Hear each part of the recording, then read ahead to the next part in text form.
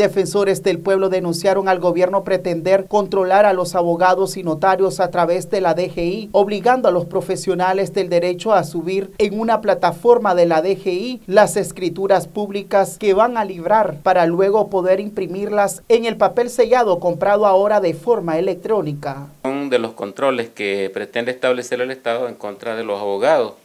cuando ellos incluso están regidos este, por el artículo 3363 del Código Civil,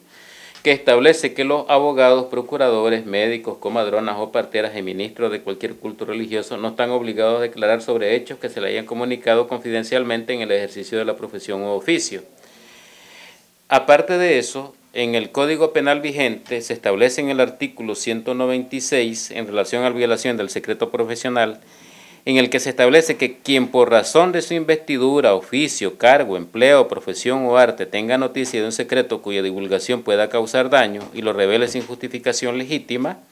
será penado con prisión de uno a tres años e inhabilitación especial de dos a cinco años. Es decir, hay sanciones para los abogados que no guarden el sigilo en relación pues con algún negocio que les sea encomendado. Los abogados explicaron que al imprimir cada una de las copias, la institución pondrá un código de barras en cada documento que servirá para llevar el control del pago del impuesto y del número de hoja en la que se imprime cada escritura. Realmente está afectando a todos los abogados, colegas, en el sentido de que esa regulación ante la DGI, que ahora se tiene que traer un formato electrónico donde la DGI eh, uno le tiene que reportar la escritura y establecer el monto y la, y la, misma DGI va a poner el monto de la, eh, aparentemente que uno del costo de la escritura que está cobrando como abogado. Eso para fines de cobrar impuestos, eso es ilegal, porque evidentemente este, a quienes tenemos que dar nosotros este,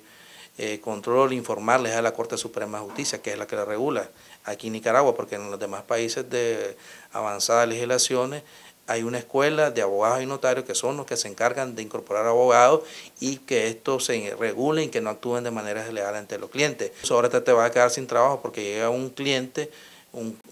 supongamos cualquier caso que llegue allá, que te va a pagar un caso de un asesinato, de un narcotraficante que te va a pagar, te va, lo vas a defender porque es tu trabajo y ese, no sabemos dónde viene el dinero, entonces ellos quieren que diga vos de dónde viene ese dinero. Según Montenegro, esta acción violenta la constitución política y otras normas jurídicas del país. Noticias 12, Armando Amaya.